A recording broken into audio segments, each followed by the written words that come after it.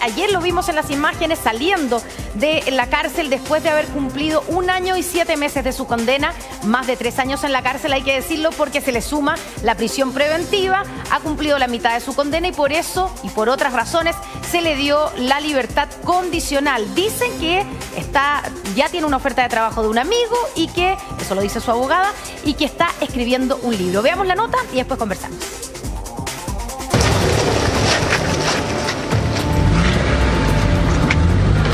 Dicen que no hay plazo que no se cumpla ni deuda que no se pague. Dos afirmaciones que mucho tienen que ver con la vida de Rafael Eduardo Garaipita, quien hoy, sin terminar de pagar las totalidades de las deudas a las víctimas de sus estafas, y antes de que se cumpliera el plazo de su sentencia, salió en libertad condicional. Rafael, ¿qué significa ya estar libre? ¿Qué significa para ti? No emitir declaraciones, gracias cuando reventó la primera estafa piramidal grande, eh, si, ustedes se acuerdan, Garay daba consejo de cómo no caer en la estafa. Cuatro paredes de su habitación en el anexo Capitán Yader. Rafael Garay se trasladó a otras cuatro paredes para seguir confinado, pero esta vez producto de la cuarentena que afecta al Gran Santiago.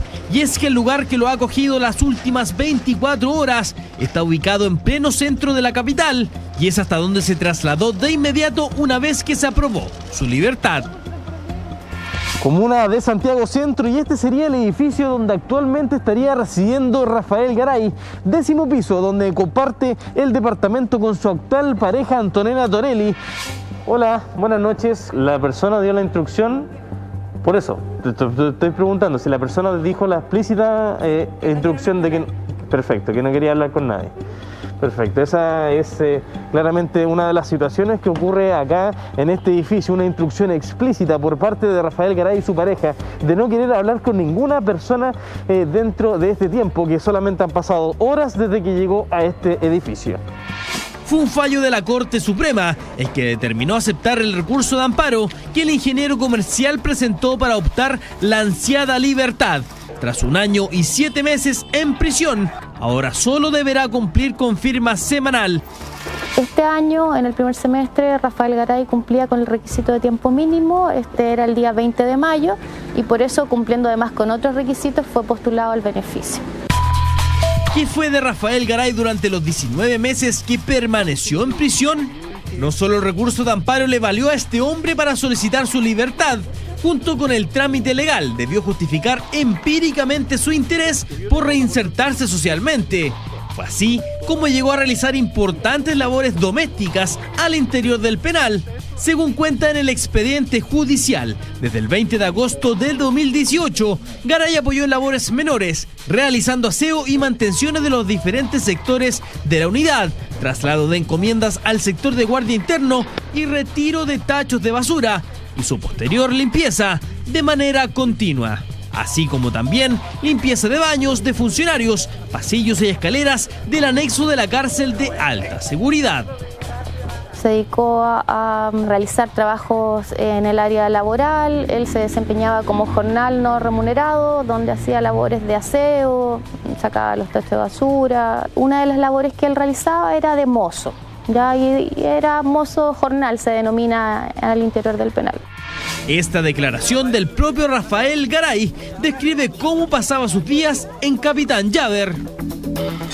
Limpio la sala, el pasillo, los baños. Llevo las encomiendas. He lavado la losa en eventos de gendarmería. En el rancho, lavar la losa del desayuno, almuerzo, bandejas. Lavar las marmitas donde preparan la comida. Subir contenedores de basura. No es remunerado porque suponen tengo mucha plata.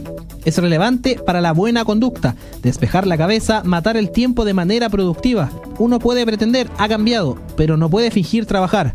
Todo trabajo es decente. El pasado 18 de octubre del 2018, Rafael Garay fue condenado a 7 años de presidio y al pago de una multa de 21 UTMs por el delito de estafa reiteradas a 29 personas, por un monto cercano a los 1.300 millones de pesos. En una de las jornadas del juicio oral que determinó su sentencia, tuvo por primera vez palabras para quienes se vieron afectados por su actuar. Primero decir eh, claramente que le pido perdón a las víctimas. Yo creo que afecté a, varias personas y pedirle especialmente disculpas, ofrecerle disculpas, perdón, a, a las personas enfermas de cáncer. Pero aquella no sería la última ocasión en que este hombre de 44 años se referiría a sus víctimas. Siguiendo con el expediente judicial de su caso, uno de los más bullados de los últimos años, un informe pericial revela importantes declaraciones del ingeniero desde el interior de la cárcel. ¿Hablamos acaso de arrepentimiento? Acá las palabras del mismísimo Rafael Garay. A muchas personas no conocía. Empatizar con otros me dolió escuchar relatos, no solo daño patrimonial, daño moral. Ellos perdieron la confianza. Ese daño es irreparable. Profundicé en la construcción del daño causado. Antes era algo teórico. Yo cometí delito tipificado. Merezco lo que pasó. Era lo que correspondía. Si estas palabras lo sorprenden, preste atención a los proyectos de Garay para sus días en libertad. Proyectos que podría llegar a concretar prontamente o quizás solo en largo plazo, cuando termine la emergencia sanitaria que por estos días le impide dejar el departamento que comparte con su familia. Tengo plan para devolver el dinero a las 29 víctimas. Escribí un libro. Ya tuve acercamiento con gente de Netflix. Dije que no, para tener otras instancias de negociación una vez fuera. Ustedes lo saben y él también. Él sabe perfectamente que hay una desconfianza. Él es una persona que conoce harto de la economía, pero no tiene ninguna intención de administrar fondos de terceros, sabe que eso está vedado. Creo que su primera finalidad, de acuerdo a lo que conversamos el día de ayer, es retomar su vida normal con su familia, con su hijo. Había comenzado a escribir un libro estando privado de libertad y quiere terminarlo. También me comentó que hay una persona que le estaría dando algún tipo de posibilidad de trabajo. Con su liberación, Rafael Garay ha vuelto los titulares de la prensa y también se ha convertido nuevamente en el centro de las acusaciones de estafa, esta vez con víctimas que aún no claman por justicia y ven con impotencia cómo el ingeniero comercial logró en tan poco tiempo el esperado beneficio carcelario de la libertad.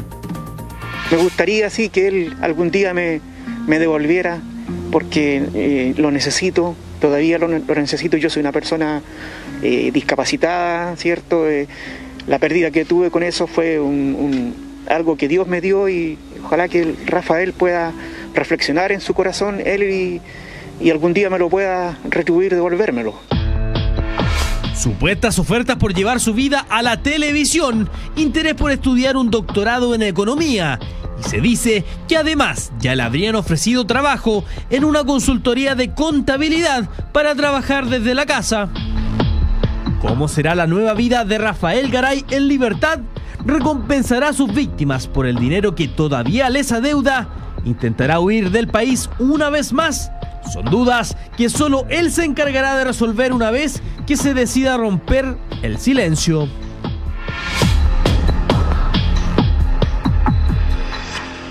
Habrá conectado a sus amigos.